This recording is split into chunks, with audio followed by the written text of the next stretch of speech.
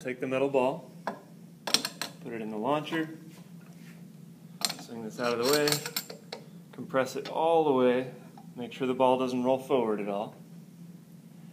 Then this little piece of plastic up here, you need to swing this down so it's touching your post. This will measure how far of an angle it swings through. Then you launch it. You can see it measures the maximum angle, and you can remove the ball using this little flip.